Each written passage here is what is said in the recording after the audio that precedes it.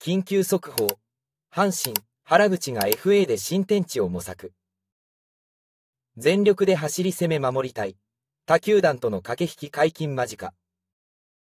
阪神タイガースの原口文人選手、32歳が、今季取得したフリーエージェント、FA 権を行使することを決断し、11日、兵庫県西宮市の球団事務所を訪れ、正式に申請書類を提出した。昨年の日本一にも貢献した代打の神様として、その勝負強さを発揮してきた原口だが、今回の FA 宣言は、自身が望む走攻守すべてで輝ける場所を求めての一歩となる。球団は、彼の宣言残留を認める方針を示しているものの、原口はスタメンとして全力でプレーできるチャンスを求め、他球団との交渉を選ぶこととなった。14日に公示され、15日から他球団との交渉が解禁される。原口にとって、これは長い野球人生の中でも最も悩んだ決断の一つだった。2009年にドラフトロヒで阪神に入団し、今年で15年目を迎えた彼は、ようやく手にした FA 権を行使する選択をした。もし残留を選べば、来季もベンチ入りの可能性は高く、重要な場面での代打としての出場機会も期待できる。しかし、その選択肢に対しても、どこかしら自分の本能が反応した。ポジションを取りたい。先発として出場し、バッティング、走塁、守備、すべてでプレーしたい。という強い思いが心の中で湧き上がった。彼のプロ野球生活は決して平坦なものではなかった。12年には椎間板性の腰痛に悩まされ、育成契約に転落したこともあり、14年には肩の故障で保守から内野手に転向。さらには19年に大腸がんを宣告されるという困難な時期も経験してきた。しかし、それらの試練を乗り越えて、現在も現役選手としてグラウンドに立ち続ける原口は、野球をできることの喜びをかみしめながら、新たな挑戦を決意した。FA 交渉で最も重視するのは、ポジション争いに挑むチャンスがあるかどうかだ。現実的に見れば、一塁か DH に限られるが、長打力と勝負強い打撃を武器に、その能力を買ってくれる球団を待ち望んでいる。自身のキャリアの中で、最も印象深かった16年には107試合に出場し、打率299、11本塁打、46打点という成績を収め、キャリアハイを記録した。しかし、近年はスタメンから外れることが多く、出場試合数も減少の一途をたどっていた。それでも、今季の CS では、特に印象的な本塁打を放ち、その実力を証明してみせた。自信はある。キャリアハイとなった16年は107試合に出場して、299、11本塁打、46打点をマークした。近年はスタメンから外れ、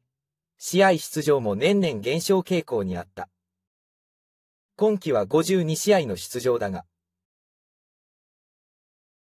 CS では10月13日のファースト S の DNA 戦で9回に上茶谷から左翼席に放った本塁打は豪快だった。阪神には深い感謝の気持ちがある。金本監督のもとでその才能を見出され、掛布二軍監督の指導を受けて成長。矢野監督の信頼を得て、岡田監督のもとで日本一を経験した。そのすべての瞬間が、今の自分を作り上げた。そして、阪神ファンの前で必死のパッチ。提供魂を叫びながら戦った日々も、何にも変え難いものだ。阪神側も、来季の戦力として残留を強く望んでおり、藤川新監督の下で再び V 奪回を目指す夢を原口は何度も見たという。しかし、最終的には自身の可能性にかけることを選び、家族と相談しながら新たな道を選択することに決めた。FA 選手として14日に公示され、翌15日からは他球団との交渉が始まる。新しい挑戦に向けて、原口はその一歩を踏み出す。原口文人、原口文人は、1992年3月3日生まれ、埼玉県出身。2009年にドラフトロヒで保守として阪神に入団。腰痛の影響で13年から育成契約となり、16年に支配下契約を復帰。翌年には月間 MVP に輝き、18年には代打で球団記録に並ぶシーズン23安打を記録。22年から内野手に転向し、19年1月に大腸がんを公表。その後治療を続けながらプレーし、24年1月には完治を報告した。身長182センチメートル、体重95キログラム。右投げ右打ち。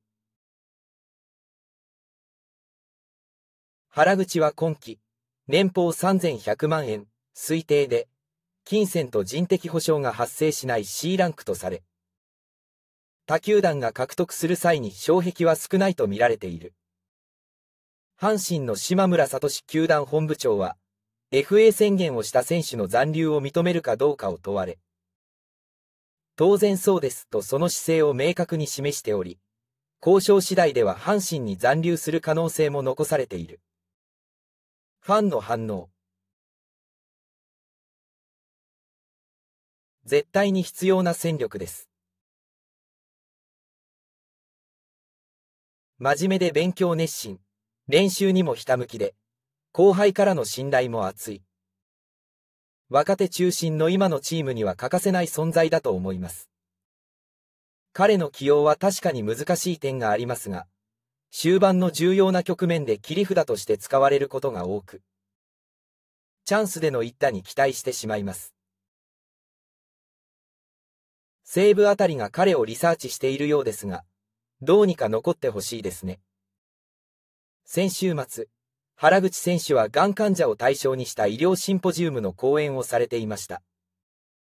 FA 宣言については以前から心が決まっていたかもしれませんが、会場にいた患者さんの姿を見て、この人たちに打席で活躍する姿を見せたいとの思いが最後の決断を後押ししたのではないかと感じました。原口選手について考えると、ガンとの戦いは切り離せません。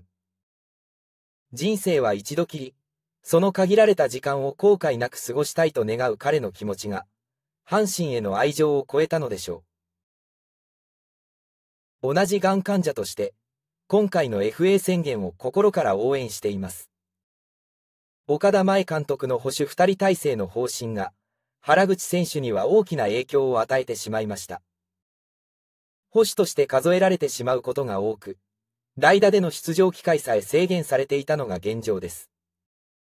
ファンとしては若手の保守を加えた保守3人体制で、原口選手を積極的に起用し、打席後の守備でも活躍する姿が見たかったですが、監督の方針に従うしかありません。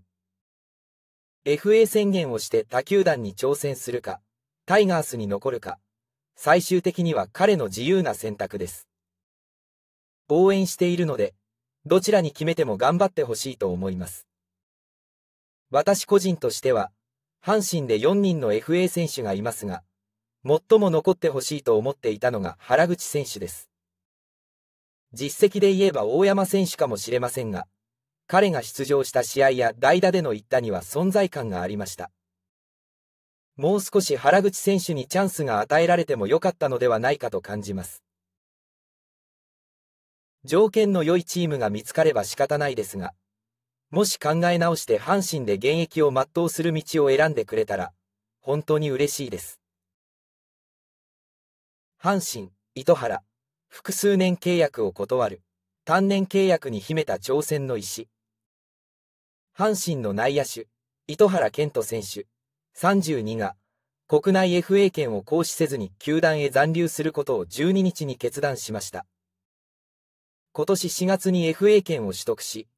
シーズン終了後からじっくり熟慮を重ねてきたようです。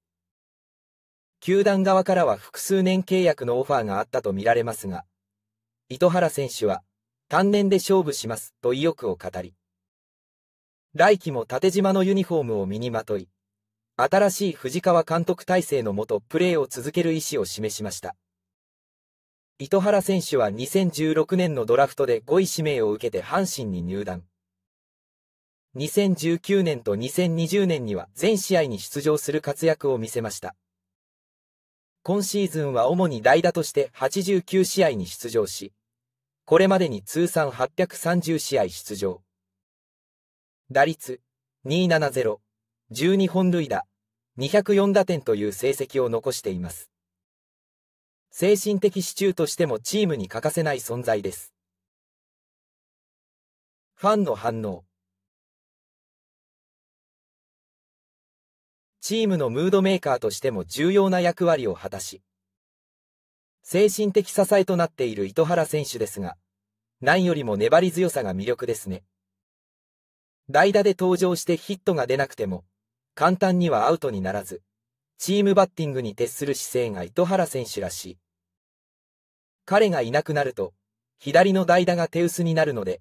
本当に残ってくれてよかった。三塁の守備も実は非常に上手で、テルが怪我をしたり調子を崩したりした時のバックアップとしても貴重な存在です。来年も甲子園で彼の誓いの歌が聴けるのが楽しみです。FA を行使せず、単年契約を選んだ糸原選手には、来季を勝負の年とする覚悟が感じられます。複数年契約を選ばなかったことで、ライオフには再び FA を視野に入れる可能性もあるかもしれません。来季の活躍次第で、さらに多くの選択肢が広がるでしょう。出て行かれると困るような大活躍を期待しています。虎のいぶし銀、代打の職人としてこれからの活躍を楽しみにしています。糸原選手の打撃にはパンチ力があるので、まさに、代打の神様的な存在に成長してほしいと願っています。彼の応援歌であるマーチが流れると、糸原選手が一番かっこよく盛り上がるので、これからも甲子園でその勇姿を見せてほしいです。